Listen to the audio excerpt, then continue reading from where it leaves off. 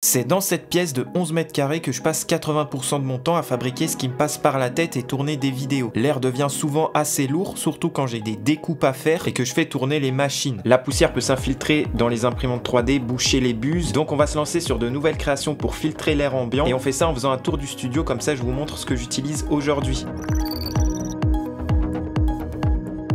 C'est ici que j'imprime toutes les pièces que je conçois et c'est un espace que j'ai aménagé tout juste récemment. J'ai acheté cette étagère noire à Ikea, ça me fait deux étages pour mettre quatre machines avec un tiroir au milieu pour les accessoires. Pour réduire le bruit et éviter que la poussière s'infiltre, j'ai installé ces plaques de plexi prédécoupées aux bonnes dimensions. Pour faire ça, j'ai percé quelques trous dans la tôle et j'utilise des vis et des écrous. Et attention, quand on perce le plexi, il faut faire attention à ne pas y aller trop fort avec la perceuse et éviter les forêts bois. Et puis je me suis amusé à imprimer des charnières pour avoir des portes sur la face avant. Pour filtrer les particules fines et éventuellement les odeurs qui se dégagent de ces deux machines, j'ai modélisé un assemblage de pièces à imprimer. Tout d'abord, j'ai acheté sur Amazon ce filtre 2 en 1 EPA charbon, c'est environ 10 euros pièce et ça filtre vraiment pas mal de choses donc c'est top. Ensuite, après impression, je viens l'insérer dans ma pièce principale j'ai aussi imprimé un couvercle que j'ai personnalisé avec un logo d'une autre couleur et on va le visser au reste du montage pour bien encapsuler le filtre. Dans un deuxième temps, avec un ventilo de PC de 12 par 12 cm, une pièce support et je vais passer le câble dans la rainure prévue. Je vais ajouter des écrous M3 à une dernière pièce imprimée et je peux ensuite assembler tout ça avec des vis de 35 mm. Une fois les quatre vis d'assemblée, si le filtre vient à bouger légèrement, on peut ajouter du scotch à l'intérieur du couvercle. Ça peut arriver, ça c'est selon vos imprimantes 3D. Le ventilo ici c'est un Arctic 12 volts, bien car pas cher et silencieux, mais ce qui est important est d'avoir un ventilo à haute pression statique pour compenser la perte de charge du filtre EPA qui est difficile à traverser j'ai pas fait vraiment de calcul, ma démarche est plutôt expérimentale et pour un petit caisson avec deux imprimantes, c'est suffisant. Pour l'électronique, il faut repérer la masse et le 12 volts. On vient les dénuder et les brancher à une connectique d'alimentation 12 volts. Je peux maintenant fixer ce mini purificateur d'air avec des vis au deuxième étage de mon étagère et le lancer depuis mon bureau via une prise connectée si je viens à imprimer quelques pièces. Pour information, avec ce ventilo arctique, il y a quand même un minimum de bruit. Caisson fermé, on a environ 42 décibels et caisson ouvert, on est plus sur du 50 décibels. Concernant les machines que j'utilise, vous l'avez peut-être remarqué, l'étage du haut, c'est les imprimantes 3D Prusa, marque que j'apprécie particulièrement. La Prusa Mini est celle que je conseille à tous ceux qui veulent débuter dans le domaine. Ça permet de rentrer dans l'écosystème de la marque. C'est très fiable et ça imprime très bien. Malgré la taille du plateau, ça vient en kit, je crois, pour 400 euros. Donc c'est assez cher, mais je trouve que ça vaut le coup. Juste à côté, c'est la Prusa MK4, une des dernières sorties. Pareil, c'est ultra fiable et je l'utilise principalement pour imprimer du PETG ou des filaments flexible car c'est ultra bien géré par la machine, j'ai tout le temps des résultats impeccables. C'est vrai qu'elle est plus silencieuse et plus rapide que le dernier modèle MK3S Plus, par contre les profils permettant de réduire la vitesse d'impression ne sont pas encore disponibles sur Prusa Slicer à l'heure où je tourne la vidéo, donc j'espère que ça sortira bientôt. En tout cas, c'est pour moi important d'en avoir une aujourd'hui dans l'atelier. L'étage du bas, c'est mes imprimantes Bamboo Lab, la X1 Carbone et la P1P. Ayant goûté à cette marque assez récemment, je suis assez vite tombé sous le charme et aujourd'hui, ça devient un indispensable d'avoir au moins une de ces deux machines dans l'atelier car elles impriment extrêmement bien, mais surtout, elles sont très rapides, donc idéal pour mes projets car je fais quand même pas mal d'impressions test. Elles sont équipées avec des AMS qui me permettent d'imprimer en multicouleur ou en multimatériaux. Globalement, la différence entre les deux et que la X5 Carbone permet d'imprimer des matériaux techniques. Elle a des composants plus robustes et surtout elle est encapsulée. La P1P a l'avantage d'être beaucoup moins chère et on peut toujours imprimer des pièces euh, sur les côtés pour euh, l'encapsuler. C'est un peu la philosophie vendue avec cette machine et on peut toujours l'améliorer aussi avec des composants qu'on peut acheter de la X1 Carbone. Bref, pour moi, elles sont vraiment incroyables. Si je devais en choisir une seule parmi les quatre, je ferais mon max pour avoir la P1P. Je pense c'est le meilleur compromis prix-performance, même si ça coûte près de 650 je pense que je ferai quelques économies pour me l'acheter. Et dans un deuxième temps, si je compte un peu moins mes sous, j'achèterai sûrement une MK4 pour au moins avoir une Prusa dans l'atelier car c'est fiable et au moins on est sûr que ça fonctionnera toujours. Pour être transparent, ce sont les marques qui m'ont envoyé ces machines gratuitement. Je les remercie car aujourd'hui ça me permet vraiment d'avancer à fond dans mes projets. Avant d'aller plus loin, je remercie mon sponsor Asus qui m'accompagne sur cette vidéo. Ils m'ont permis de tester un de leurs derniers modèles de PC portable. C'est un ZenBook S13 OLED qui cible principalement ceux qui souhaitent avoir un bel écran avec tout de même pas mal de puissance embarquée sur un truc hyper léger et euh, ultra fin. J'en ai profité pour le prendre avec moi pendant un week-end de repos pour le tester en conditions réelles et c'est vrai que pour le transport c'est vraiment agréable. J'ai tout de suite essayé mon logiciel de 3D Fusion 360 et c'est très fluide pour modéliser à distance, c'est entièrement suffisant. Ça c'est en partie grâce à la carte graphique Intel et au processeur i7 de 13e génération, ça régale. J'ai aussi testé mes logiciels de montage Premiere Pro et After Effects et pareil c'est parfaitement suffisant pour faire quelques rendus quand on est en déplacement. En tout cas pour mon utilisation professionnelle, il coche toutes les cases importantes. Pour le côté plus divertissement, avec ma chérie on a regardé un film dessus un soir et c'est vrai que la qualité d'image est top avec l'écran OLED de 13,3 pouces. En termes de look, j'aime beaucoup, on est sur de beaux matériaux, alliage aluminium et Asus a voulu faire les choses bien, plastique recyclé des océans pour les haut-parleurs, procédé plasma céramique à faible empreinte environnementale et emballage uniquement papier sans colle issu des forêts. Des détails mais qui font du bien à la planète. En tout cas si vous êtes à la recherche en ce moment d'un PC, n'hésitez pas à checker ce ZenBook S13 lien en description. Merci à Asus de m'avoir fait confiance, on retourne sur nos projets. Pour la suite, j'ai voulu pousser le concept un peu plus loin avec ce mini purificateur d'air. Je me suis inspiré du système bladeless des Dyson pour en faire comme un mini ventilateur de bureau. C'est pas si évident à concevoir car il faut comprendre comment ça fonctionne. L'idée c'est de récupérer l'air filtré et de le faire passer dans un anneau amplificateur avec une forme spéciale à l'intérieur qui ressemble à une aile d'avion inversée. Et quand l'air se déplace le long de cette aile inversée, il accélère et sa pression diminue. Et cette baisse de pression aspire encore plus d'air au milieu à l'anneau et ça donne l'impression qu'il est produit à partir de nulle part. Pour ma conception, j'ai donc reproduit ce profil aérodynamique et j'ai pu l'extruder en anneau amplificateur avec la fonction sweep. J'ai fait ensuite quelques ajustements pour avoir quelque chose d'imprimable en une seule pièce et on envoie ça aux imprimantes. Une fois les pièces imprimées, j'enlève les supports et je vérifie que ça s'emboîte bien. Je vais ajouter des écrous dans les trous de la pièce noire et je viens remonter un nouveau filtre. Je positionne le ventilo par-dessus et je dépose mon anneau amplificateur. Je fixe le tout avec les mêmes vis M3 de 35 mm que tout à l'heure. Je vais ajouter quelques inserts et j'assemble quelques autres pièces avec de la colle chaude.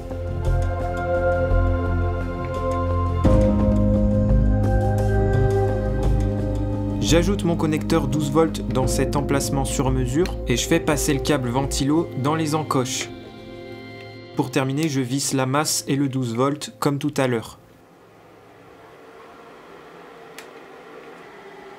Bon, ça a l'air de fonctionner, il y a une assez bonne ventilation, mais c'est loin d'être incroyable. J'ai fait quelques mesures avec un anémomètre et j'ai remarqué que la distribution n'est vraiment pas top. On a beaucoup plus d'air sur le côté gauche et en haut de l'anneau, donc on a sûrement une ventilation non uniforme en sortie de ventilo. Pour améliorer ça, il faudrait déjà, je pense, compacter un peu plus le design, laisser plus d'espace entre le ventilo et le début de l'anneau pour avoir moins de perturbations et retravailler la forme de l'anneau avec plus d'arrondi. Pour l'instant, ça me convient même si je ne suis pas très fan du design. En tout cas, pour tous ceux qui ont des doutes sur l'efficacité du filtre, ça fonctionne, l'air passe bien à travers, ça ne va pas filtrer toute une pièce, mais pour un petit volume avec deux imprimantes, c'est top. Je vous laisse évidemment tous les fichiers gratuitement disponibles en description si vous voulez l'imprimer ou l'améliorer. On fait maintenant un tour de l'autre côté de l'atelier et je vous montre ce qui se cache là-bas.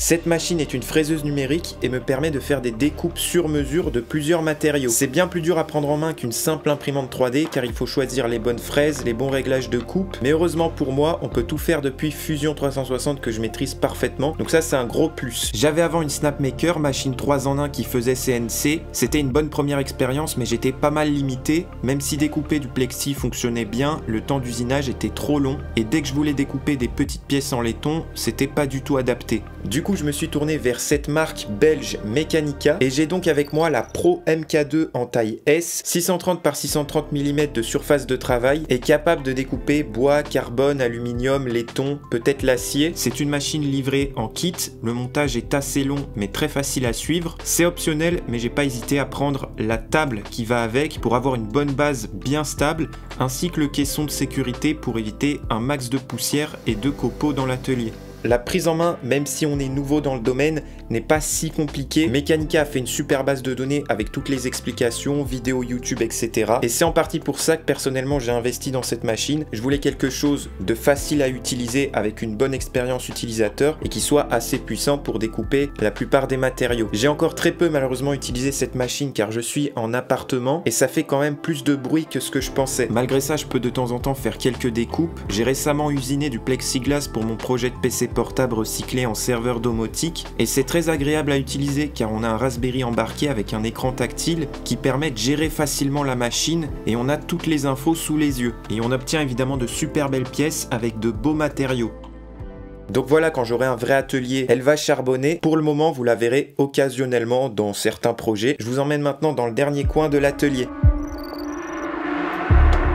Derrière moi, nouvel espace d'impression, je suis loin d'être fan des imprimantes résine car c'est pas top pour la santé, mais si on fait les choses bien, il n'y a pas de souci à se faire. Donc j'ai voulu me refaire un coin bien aménagé avec une bonne ventilation pour extraire les mauvaises particules. Déjà j'ai commencé par acheter un nouveau meuble Ikea, c'est de la même gamme que celui de l'autre coin impression et j'ai récupéré les profilés alu des portes arrière de ma CNC qui ne servaient à rien pour faire la structure de ce caisson transparent. J'ai modélisé des attaches sur mesure pour les faire tenir debout sur le meuble pour fixer les plaques en plexi je les ai fait glisser dans les profilés, donc sur la face arrière puis sur les deux côtés, puis j'ai calé du joint pour être sûr que ça ne bouge pas. Ensuite, j'ai récupéré un design d'attache sur printables.com pour fixer un conduit avec des aimants. Pour faire ça, j'ai percé un gros trou à la bonne taille sur une des plaques latérales et j'ai fixé l'attache avec des vis. Pour le toit, j'avais du coup plus de profilés, donc j'ai assemblé 4 tasseaux que j'ai assemblés avec des impressions. J'ajoute le plexi et j'assemble tout ça au reste de la structure avec pareil des impressions que j'ai modélisé. Franchement, je suis très content du rendu final. Même si j'ai peu d'espace de travail, j'ai quand même pas mal de rangement pour un minimum de confort. Les mauvaises vapeurs de la résine et de l'alcool isopropylique seront donc évacuées à la fenêtre grâce à une turbine fixée au mur et qui est donc reliée à deux conduits, un qui va dans le caisson et l'autre qui sort par la fenêtre. Je pense que ça sera entièrement suffisant. Maintenant, pour ne pas respirer celle qui pourrait s'échapper dans l'atelier, je vais fabriquer un purificateur d'air, mais cette fois pour l'ensemble de l'atelier, pour l'air ambiant. Pour ça, j'ai encore récupéré un filtre EPA plus charbon, mais bien plus gros que le dernier. J'ai pas mal cherché pour en trouver un bien et pas cher, et celui-là coûte environ 20 euros pour 30 mètres cubes, donc c'est parfait. En même temps, j'ai acheté une turbine, celle-là coûte un peu cher, 90 euros, mais on peut trouver moins cher, je pense. Ici, je voulais vraiment un truc stable et silencieux. Ensuite, toujours sur mon logiciel Fusion 360, j'ai essayé de répliquer le design de la partie filtre du Dyson, puis on lance cette conception sur les machines.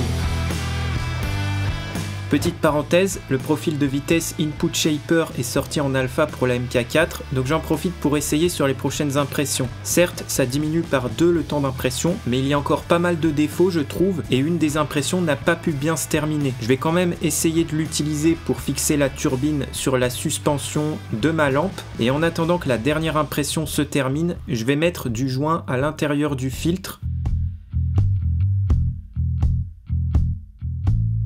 Ma pièce enfin terminée, je suis trop triste que le changement de filament ne s'est pas très bien passé. En plus, je viens de voir que malgré mes tests en amont, le filtre ne rentre pas. Donc pas le choix si je veux utiliser cette pièce, je vais entailler à la Dremel.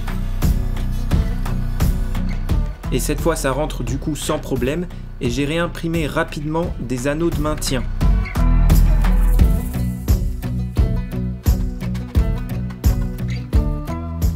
Voilà ce que ça donne avec la partie haut du coup remontée avec un deuxième anneau. Je vais maintenant mettre ma turbine.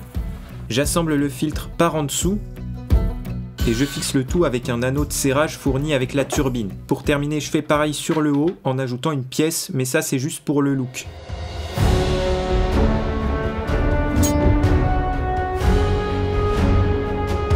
J'en profite pour ajouter un détecteur de particules fines, c'est exactement le même que j'ai utilisé dans ma vidéo ESP Home, donc n'hésitez pas à aller la voir si ça vous intéresse.